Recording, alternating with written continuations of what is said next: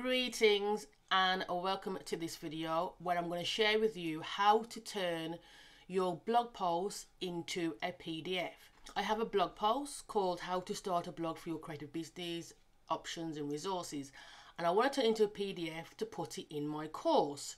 Now I will say that in this blog post I have videos and bear in mind these videos are not going to work in a PDF but obviously the rest of the content is just li literally text and images. So what you need to do to do this is to go to a website called printfriendly.com.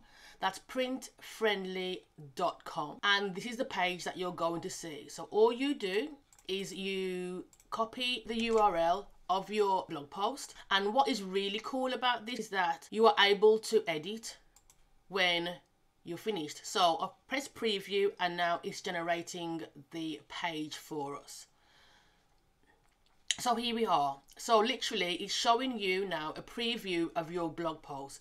You've got text that you can increase and decrease. You've got images that you can increase and decrease. You can print it, you can got PDF and you can e even email it to somebody.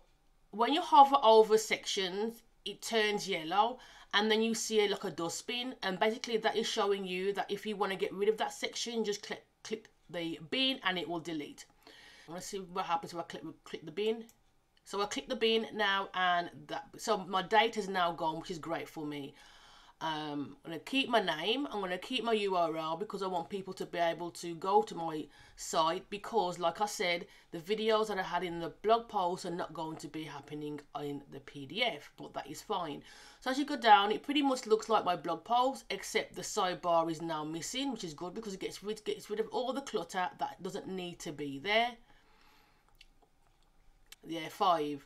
So basically what it's done, it's taken out the video completely and it's got set up your new web, um, website, WordPress site and it's got the information. This video will show you the steps, but obviously there's no video.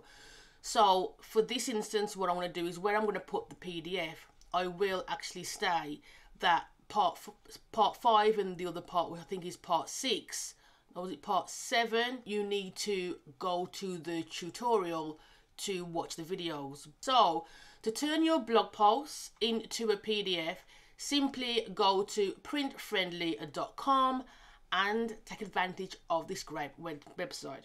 Thank you for watching. I hope you got value from it. Like and subscribe the video. If you've got any questions, drop them in the comments below and I'll do my best to answer them all. So until next time, be passionate, be focused and continue to share your gift.